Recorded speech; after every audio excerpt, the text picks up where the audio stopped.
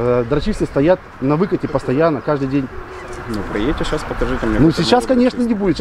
Карпики на что были? А ну расскажите. И вот это все это демонтируется и уберется к чертовой матери. Где рейды? Почему вас не берут рейды? И я надеюсь, сегодня я получу этот ответ.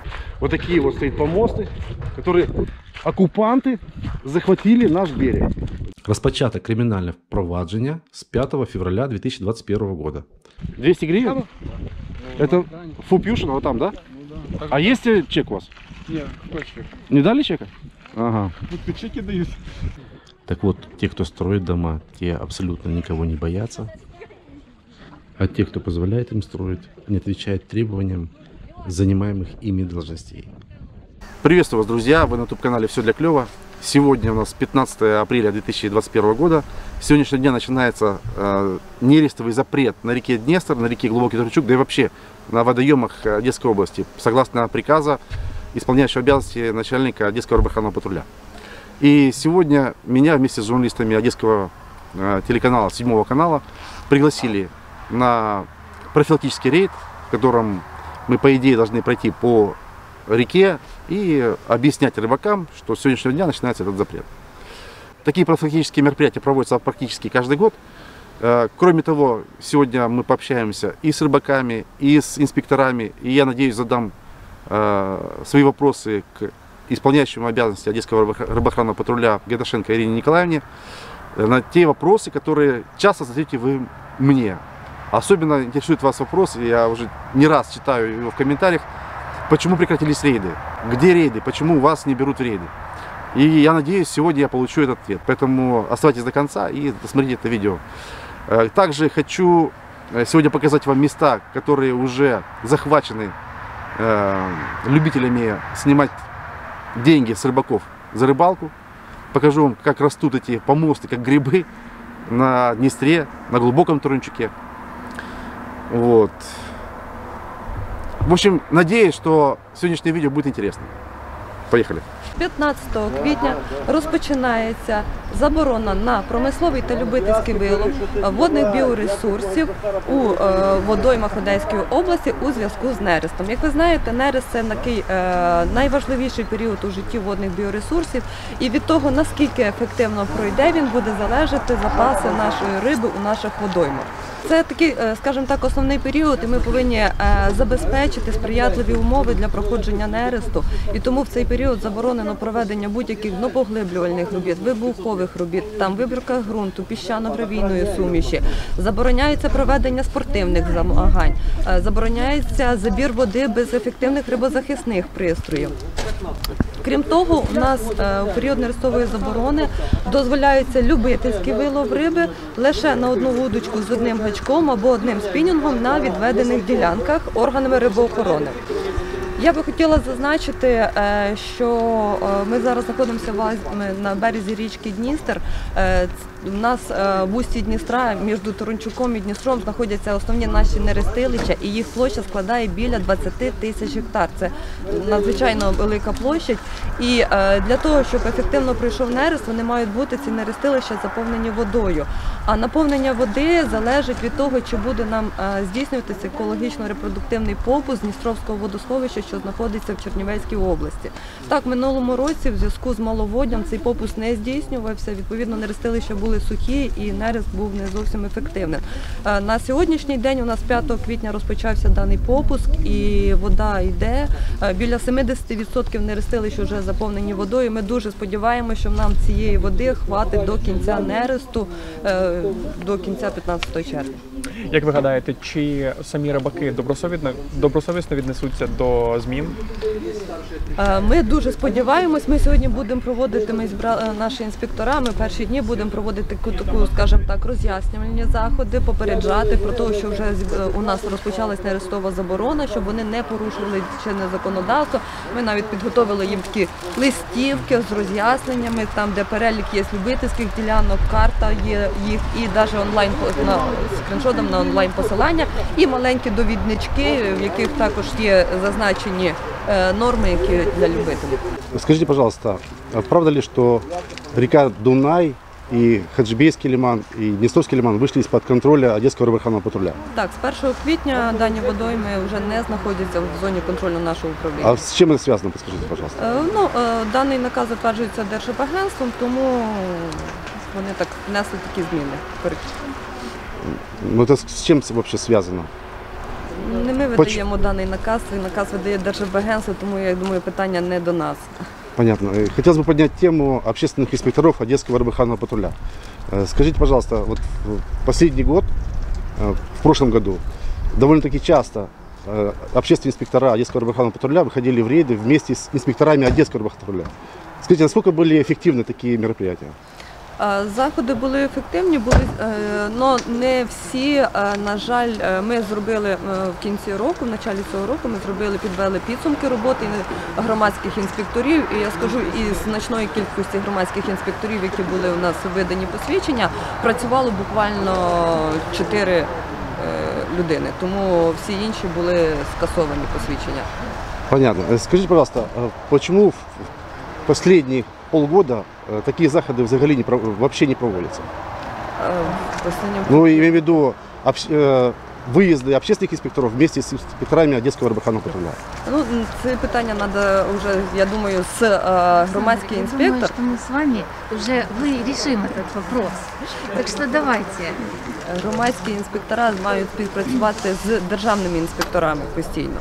Тобто, якщо громадські інспектора не співпрацюють з, грома- з державними інспекторами, ну, нас ще все вплинуло, що немає водойм, на яких Ну здійснювалися Днестр же есть. От. І е, державні інспектора також у нас деякі то переходили, то звільняються, і ми, разом з ними і громадські інспектора вони втрачають свої повноваження. Спасибо большое, Ирина Николаевна. Очень приятно было, что вы не отказали в комментариях. Во-первых, по оперативной информации, если есть таковая, то выезжаем немедленно. А во-вторых, есть регулярные рейды, которые предусмотрены графиками. Раз-два раза в неделю выезжаются однозначно. А в среднем э, за рейд э, какое количество нарушителей может быть? Ну, на данный момент мы сейчас проехали. Кроме как э, ликвидацию стихийных сметтезвалищ, мы больше ничего не нашли. То есть убрали 5 кубических метров мусора и прибрали там 0,3 гектара площади. Вот такое. Я понял. Спасибо. Скажите, пожалуйста, а правда ли, что м, вы будете перекрывать глубокий Турунчук на время нереста? э, В связи с тем, что... Неправда. Да? Не будет. То есть Ну, э, уже рыбаки... один раз перекрывали, и вы знаете ситуацию, которая произошла. То Рыбаки было любители? столкновение двух лодок, и это как бы там чревато до сих пор идет криминальное проваджение. Но рыбаки-любители могут во время нереста ловить на глубоком Река Турунчуке? Днестр, согласно 91 приказа МТУ Украины, река Днестр с ее притоками и рукавами есть судоходная первой категории. Поэтому перемещаться люди могут себе спокойно. Во время нереста? Во Мы- время нереста нельзя появляться в местах нерестилища. Таковыми есть подводные каналы, озера и река Лиман. Мы говорим сейчас про глубокий Турунчук. Глубокий Турунчук это рукав Днестра. Он есть судоходный. Понятно. Любительская ловля на глубоком На территории возможно? парка у нас нету любительских участков. Но от виду, э, відвідувати парк э, люди могут спокойно. Во время нереста. Даже во время А с нереста. удочкой? Ну, одна удочка, один тупичок, так как предусмотрено по указу Держрыбагентства. Но ведь э, любительских участков нет. Нету, потому что на территории парка нету ни одного любительского участка. Ну так они, значит, могут или не могут ловить на территории Отдыхать парка? люди могут. Отдыхать. А ловить рыбу? Ловить рыбу, если это не запрещено. А на территории парка, согласно положению, у нас как бы люди во время отдыха могут допускаться любительский лов с одной удочкой, одним крючком. Но любительского участка нет.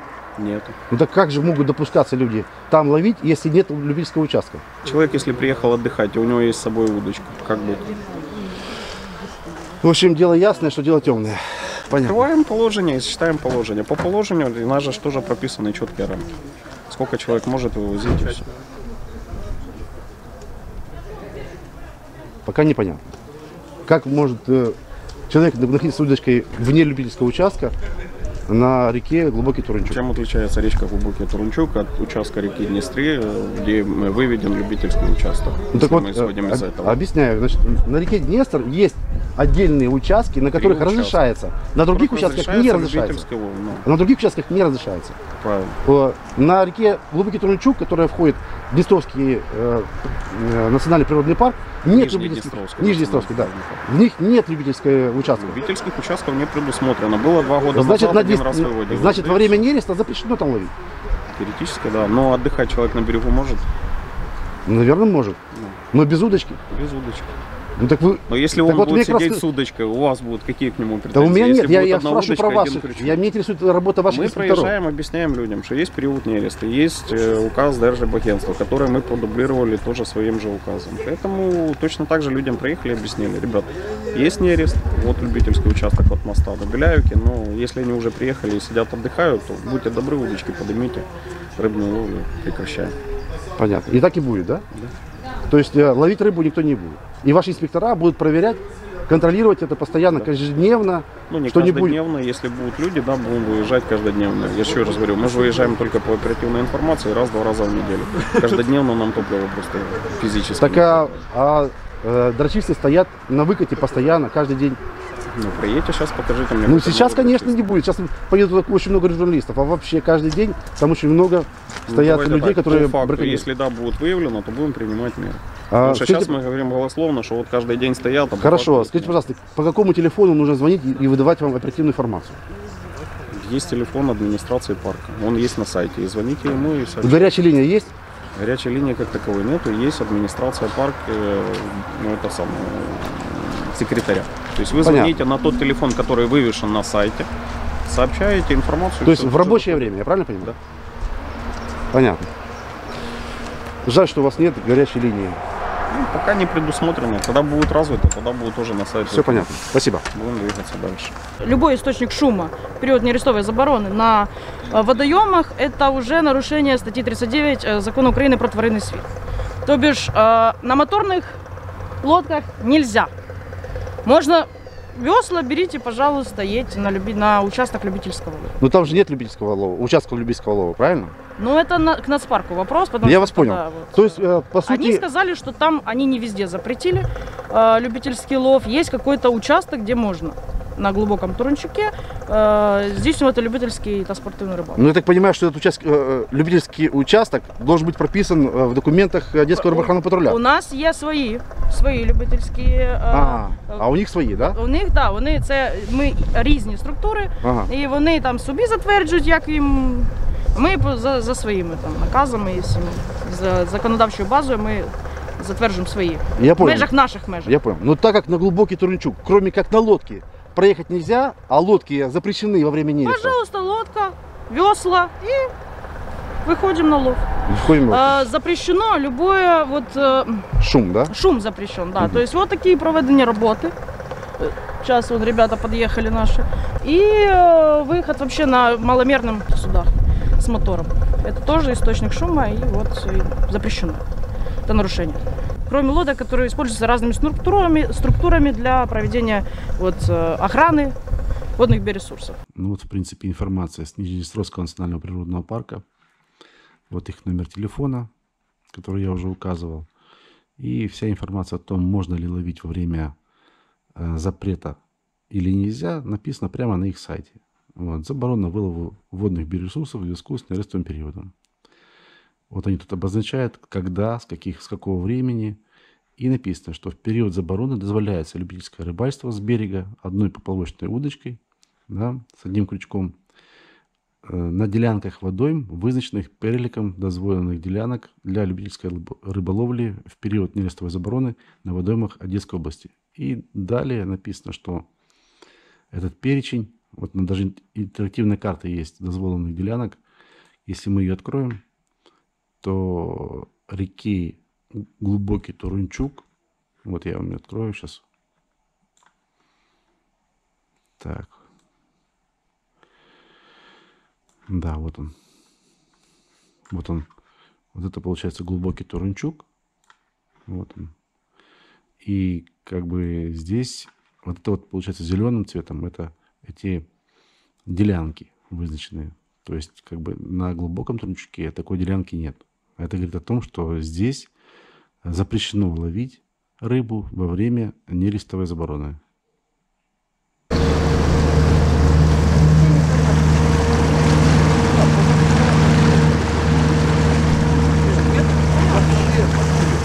дождь был, что? Ну да, воскресенье, пойдите посмотрите, у вас же выходной. Ну, ну вот. Еще один незаконный помост, который строится прямо возле нашего Маякского моста. Я могу утверждать с большой вероятностью, что это все помосты стоят незаконно здесь. И куда смотрит местная власть, вообще непонятно. Эти мо- помосты появились там полтора или два года назад, вот эти только начинают строиться, смотрите. К сожалению, нашей власти до этого нет дела. Это очень плохо. Сейчас посмотрите, что там дальше творится. Это вообще какой-то кошмар. Раз предоставилась очень хорошая возможность это все увидеть вместе с инспекторами Одесского рыбохранного патруля.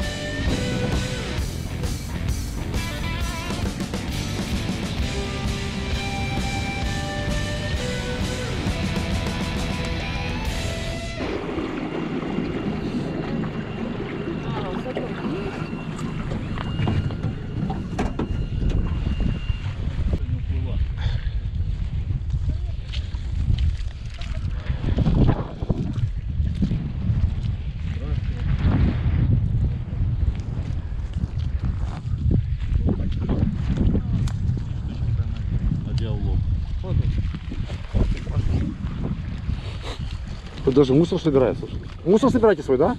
О, молодцы.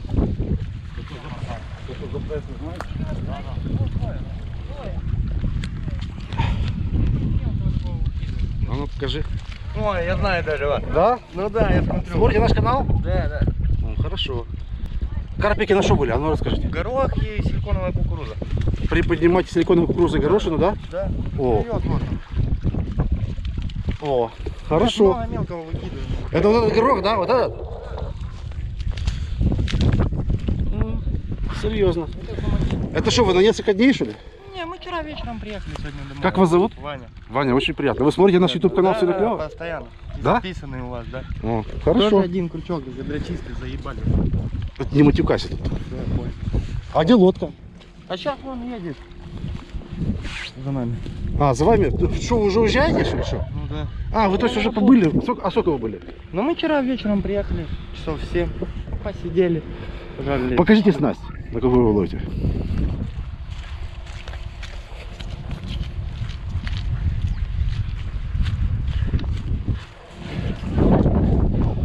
Так это ж, а с остальным горохом, а, у вас макушатник. Ну да, только мы в шагнику. Тут Ага. все написано, где можно ловить, когда можно. Понятно. Нельзя. Понял. Слышь, а горох, а что ты сейчас будешь делать с горохом этим? Горох не портится. А, Я думал, в хол- в холодильник, да? Это ребята за вами приехали? А, я вас понял. Ладно, Ваня, э, всего хорошего. Счастливо. Смотрите наш YouTube канал, все для клево. Знаєте таку ну? Ну да. Не, молодцы, ребята. А хто? Доброго, Ваня, всего хорошего. Э, Дальше мы в рейде пошли вниз по течению по глубокому Трунчуку. С правой стороны вы видите белые такие палатки. Это тоже приготовили для платной рыбалки, чтобы вы понимали. Места. То есть люди уже готовятся сдирать деньги с рыбаков. И с левой стороны домики. Сначала тут деревянные, а потом из кирпича. Вот чтобы вы понимали, это уже вот выкат э, глубокого Трунчука в Днестровский лиман. Так вот, это место вообще, по идее, является местом ихтиологического спокойствия. Я вам сейчас приведу э, отрывок из моего видео, которое я снимал в Днестровском национальном природном парке. И вы посмотрите, как это, об этом говорят специалисты. Где? Ага, устье глубокого Тручука, так. И э, километр, да? Так. Вверх по течению. Зона Это зона ихтиологического покоя. их- ихтиологического покоя. В ней можно ловить Нельзя. рыбу? Нельзя. Нельзя. Нельзя ловить рыбу в ней. Нельзя. Кому нельзя? Нельзя рыбакам ловить. рыбу. Вообще никаким рыбакам. Нет, Да. Да? Если Летить и лететь. А что ж тогда вы не бьете в набат все? Я вот не могу понять. То есть вы поняли, да, что из-за скопления, большого скопления рыбы, птицы на данном участке не должно быть человека. Не говоря уже о том, чтобы строить здесь какие-то дома. Так вот, те, кто строит дома, те абсолютно никого не боятся. А те, кто позволяет им строить, не отвечают требованиям занимаемых ими должностей Період заборони на човні з мотором не можна От Маярського моста до стрілки. виходити. Одна удочка, один крючок. Можно в специально отведенных местах. Три кіла. Слышно, что сейчас на моторных лодках нельзя ездить? Несите в, в пакете. Вещи, да? Я не, мало ли, просто я ж... Хорошо, добро. Просто на острів. Мы на стрелке. А, вот он, Днестр получается. И мы выходим из глубокого Трунтюка сюда. Прямо на стрелке сейчас находимся. А, Чтобы вы ориентировались, вот тут, э, друзья мои, чеки находятся. Там дальше старый порт. А там э, в ту сторону э, маяки и Маякский мост. Что, мы туда не пойдем? Нет?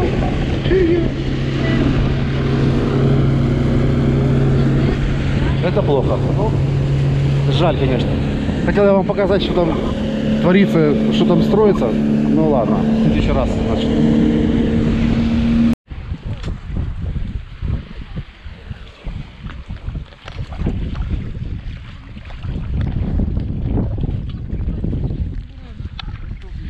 Не преступники. Ми проводимо роз'яснювальну роботу. Здравствуйте.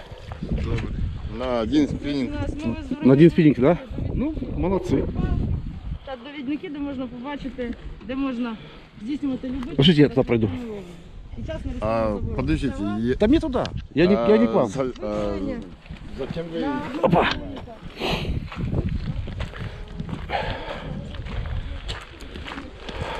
Вот, друзья.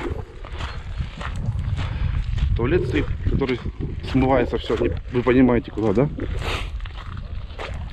Железные контейнера. Такие беседки. Раньше здесь нормально могли ловить все любители. Сейчас предприниматели, я так понимаю, скорее всего это, возможно, это ФОП Юшина. Я пока точно с уверенностью не могу сказать, но тем не менее. Вот, оккупировали вот такой вот берег. Смотрите. Раньше здесь спокойно стояли рыбаки, маякские, приезжали с Одессы, могли себе позволить встать. Теперь платите деньги, вставайте вот на эти помосты и ловите. Вот это нормально, скажите мне, пожалуйста.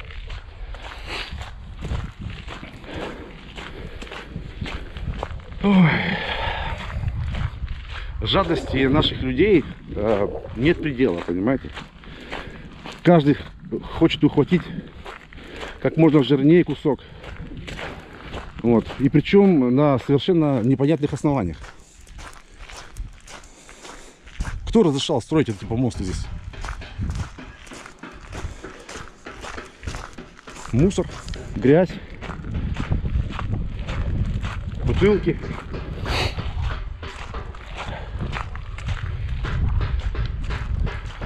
Туалеты, которые выходят в канал, который соединяется э, с рекой. Вот смотрите. Кто дал разрешение на реке? Вот это уже маяки. Все, уже тут вон мост стоит. Кто давал разрешение строить вот такие сооружения здесь, на Днестре? Почему власть местная, Маякская, Беляевская, Одесская, ну областная, я имею в виду, не видят или не хотят это видеть? Вот скажите мне. И это вот так вот идешь, вот я иду, и так еще можно идти на раз километр. Вот такие вот стоят помосты, которые оккупанты захватили наш берег. Понимаете? Это очень обидно, досадно, а, что вот э, вседозволенность полнейшая из-за того, что никто никого не ругает, никто никому не делает никаких предупреждений. Вот. Пожалуйста.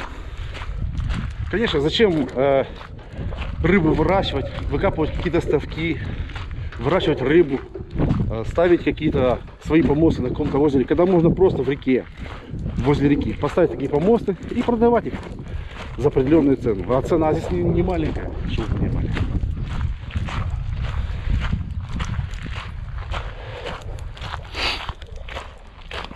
Так что вот так, друзья мои.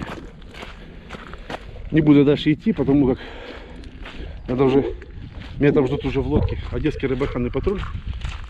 Ну вот, чтобы вы понимали, что весь берег, там где самые интересные, самые жирные куски, оккупированы вот такими вот дельцами. Построили здесь дорогу, насыпали жерствы, поставили помосты и ждут летних рыбаков, которые, которых будут сдирать деньги. А куда податься пенсионеру?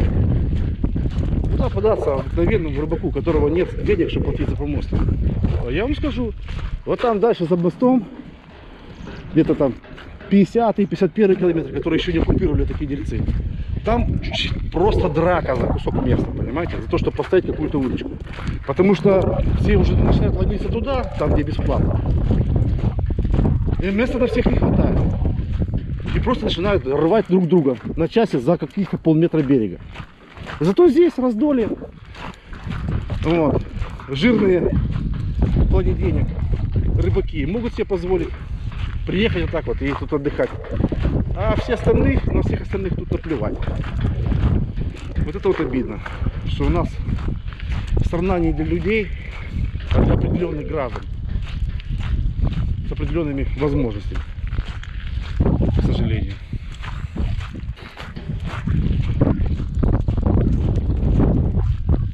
Ладно, друзья мои, на этом буду заканчивать свой прямой эфир. Надеюсь, вы меня поняли. И если тоже так же не, вам не безразлична судьба нашего Днестра, поделитесь этим прямым эфиром. Пусть, может быть, дойдет до нашей верхушки власти, что творится на нашем Днестре. Может быть, будет хоть какое-то влияние, и вот это все это демонтируется и уберется к чертовой матери. Друзья, я хотел бы обратить ваше внимание на то, что мы обращались к главе Маякской селищной рады Дьяченко Виктору Юрьевичу еще 14 декабря 2020 года. В заяве, которая была на его имя, Э, Мы обращали его внимание на то, что проводятся строительные работы на реке Днестр, что не допускают, нет свободного доступа к реке, о том, что там берут деньги. Писали о том, что мы два раза вызывали полицию 28 э, ноября 2020 года и 5 декабря 2020 года. Что писали протоколы. Эти протоколы мы ему э, также э, показали, чтобы он понимал, в чем суть дела. Также мы его просили установить законность проведения таких э, строительных работ и за что там берут деньги за рыбалку на Днестре и почему э, нет свободного доступа к реке Днестр. К сожалению, с 14 декабря 2020 года э, от него не было ответа на наше, на наше заявление. А Второй раз мы к нему обратились 17 марта 2021 года. Опять же таки, в этом же заявлении на имя головы Маякской селищной рады Дьяченко Виктора Юрьевича мы описали о том, что зафиксированы работы строительные на реке Днестр, о том, что, опять же таки, нет свободного доступа к реке Днестр, о том, что берут деньги. Даже написали э, широту, долготу, координаты тех мест, где проходит строительство, чтобы вдруг он там не заблудился в селе Маяки и нашел туда дорогу. Вот. И также попросили его установить законность проведения таких строительных работ на этом участке и почему э, нет свободного доступа, а также почему там берутся плата за рыбалку, если становишься на помост, который стоит на Днестре. Даже зарегистрировали эту заяву вот Маярской селищной раде, значит, э, вот ее номер от 17.03.21. Но, к сожалению, опять же таки, нет никакого обратного ответа от главы Маярской селищной рады Дьяченко Виктора Юрьевича, к сожалению. Может, он в кур- не в курсе о том, что есть закон України про звернення громадян, в котором передбачена відповідальність в разделе 3, статье 24. Э, Если вы, уважаемый глава селищной рады, значит, не отвечаете на наши заявы. А почему вы не отвечаете? Вот, друзья мои, напишите в комментариях к этому видео, почему голова селищной рады не отвечает на наши заявы. Вот ему будет интересно самому почитать, э, вы правильно спрогнозировали или нет. Кроме того, через народного депутата Верховной Рады Украины Дмитрука мы обратились в областную прокуратуру. И все то же самое описали, что творится на реке Днестр. И они вот 10 февраля 2021 года нам дали ответ о том, что розпочато кримінальне впровадження з 5 февраля 2021 года за ознаками криминального проступку, передбаченного статьей 356 Криминального кодекса Украины. А Что я хотел показать вот этими письмами, друзья мои? Я хотел сказать, что нужно бороться за свои права, что не бояться нужно становиться на эти платные помосты. И если к вам подходят псевдохозяева этих помостов и требуют деньги, нужно поднимать телефон, вызывать полицию и фиксировать факты вымогательства на ваш телефон. Поверьте мне, это как холодный душ, сразу их взбодрит, и они сразу же от вас убегут. Если не убегут, пусть говорят, что хотят, вы ничего не отвечаете и скажите, я буду ждать приезда полиции для того, чтобы написать на вас заявление. Все. Больше ничего не нужно делать. Не вступать с ними в полемику, э, не кричать на них, не провоцировать их никаким образом. Поверьте мне, чем больше таких будет обращений в полицию, протоколов, тем быстрее мы освободим наш родной Днестр вот от таких вот псевдохозяев. Так, что тут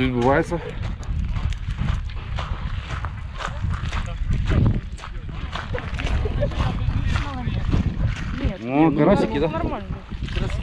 Да вон одного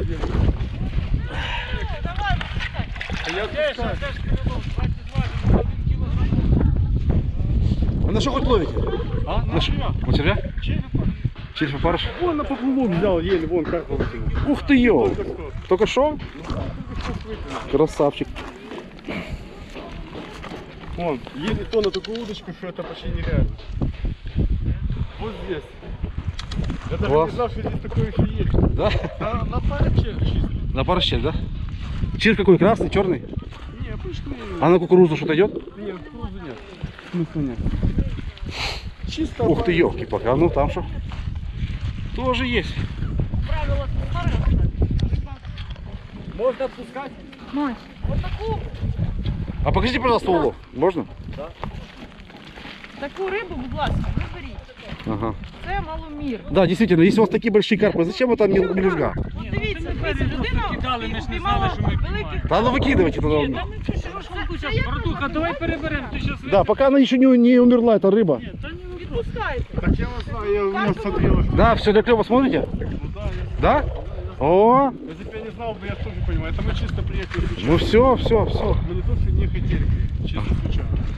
Расскажите, а про запрет слышали сегодняшний? Ну, конечно, про запрет, конечно. Одна, одна удочка, да? У нас одного, четыре, мы знаем. Вы знаете, что вы нарушили, да? Мы, мы это понимаем, если бы не понимали, мы ничего не сказали. Ага. Ну поэтому вы уже оставляетесь по одной удочке с одним крючком, правильно? Ну, в принципе, если ловить на одну удочку такого карпа, то в принципе достаточно. Если вы знаете, так что вы сколько удочек? С утра не брали ничего, сейчас начали тільки брати. Случайно на, ко- на ту которую удочку, с тонкой леской попался карп. А по улову у вас там сегодня, как вы видели, карпа? Только что вы достали карпа. На удочку. Даже не ждали, что эти случаи мы поймаем. Да, я, я ж кажу, якщо б воно було мертве, якщо б воно вже не поплило, то це вже Понимаете, в чем протокол смысл? Вот, з вот таксацією, з Я- всім мы остальним. вот приехали, мы не знали, что будет дождь, думаю, ну поедем половим, мы Ну, рассчитывали дождь на нормально. карася. Мы не рассчитывали, это вот видите, вот чисто опарыш вот при вас, это не то, что мы там, А, парш? Скажите, вы сюда зашли, что-то платили деньги? да, Сколько? 200 гривен. 200 гривен? Это Фупьюшина, вот там, да? А есть чек у вас? Нет, какой чек? Не дали чека? Ага. Тут чеки дают. Ну да, должны давать. Да я не знаю. Ну вы же 200 гривен за что-то заплатили? Ну, да, чтобы хотя бы заехать, половить на канале. Ага. Мы ехали чисто на канал. Понятно. Думаю, О, уже. спасибо, что толкнули. Думаю, быстрее пливіть уже. Друзья, вот видите, рыбаки помогают э, рыбоохране. Хорошие рыбаки. Супер, молодцы. Спасибо большое. Не нарушайте. Впечатление самое положительное. Э, Честно говоря, э, были нарушители. Конечно же, значительная часть из них воспринимала санкции штрафные адекватно. С ними поговорили, они все поняли и остались довольны. В общем-то, как и мы. Понятно. А вас не смутило, что берега, очень много застроек берегов Днестра, глубоко Трунчука, домиками всякими разными. Вот этот вот момент, как вы думаете, это правильно, неправильно? Э, Ну, смотрите, я не считаю, что это правильно. Э, Просто потому, что это же все-таки красота, это же все-таки природа, и застраивать природу, я считаю, не есть хорошо. Ну, вам не кажется, что нужно бить в набат и уже как-то сносить эти домики и э, восстанавливать природу в первозданном э, виде? Э, Ну, смотрите, опять же, э, надо всегда рассуждать в рамках э, закона. Если это незаконно, значит с этим нужно бороться. Вот, поэтому так. Спасибо большое вам. Всего хорошего. Друзья, вот так заканчивается наше видео. Какие хочется сделать выводы? Ну, во-первых, вы видели ответ, почему я не нахожусь в этих рейдах с одесским рыбоохранным патрулем. Не по моей причине, вы поняли, да? Что, скорее всего, э, инспектора рыбоохранного патруля боятся то, что я что-то покажу лишнее. И поэтому едут лучше без меня, чем со мной. Но надеюсь, что все-таки э, те инспектора честные, которые нормальные, порядочные, выполняют свои обязанности, все-таки будут меня брать с собой в эти рейды, и вы эти рейды будете видеть. Э, Второе, на что хочу, хочу обратить внимание ваше, что все-таки берега наши э, замусорены, скажем так, помостами тех людей, которые хотят с этих помостов иметь деньги. Поэтому призываю всех и каждого бойкотировать и не ходить на эти помосты, находить себе нормальное место, делиться местами с рыбаками на тех местах, которые еще не захвачены. Ну и э, делитесь этим видео, чтобы, может быть, верхушка нашего правительства, наше руководство Одесской области увидела и приняла какие-то меры к этим помостам. Э, Хочу также обратиться к э, лес- лесничему хозяйству. Ведь э, вот за эти помосты отвечаете именно вы. Потому как вы, к сожалению, не видите эти помосты, и из-за вашей бесконтрольности и вашего бездействия это происходит. Поэтому, если вы хотите навести порядок, вы просто обратитесь ко мне, меня увидят все рыбаки Одессы. И я сниму с вами интервью, вы ска- только скажете время, когда нужно прийти, на какое место, чтобы демонтировать эти помосты.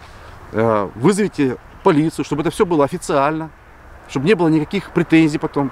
И с вашим, под вашим руководством мы поснимаем эти помосты. Вы только дайте нам знать. И все. И поверьте мне, порядок на реке навести можно и нужно. Вместе с общественностью. И у вас это получится, если, конечно, вы это хотите. Друзья, на этом заканчиваю видео. Уверен, что э, дальше будет интересно, потому как в планах э, снимать видео не только о браконьерах и этих э, помостовиках, но и о рыбалке, и о том, какой прекрасный наш Днестр, и не только он. Встретимся на рыбалке. Всем всего хорошего. Удачи. Пока.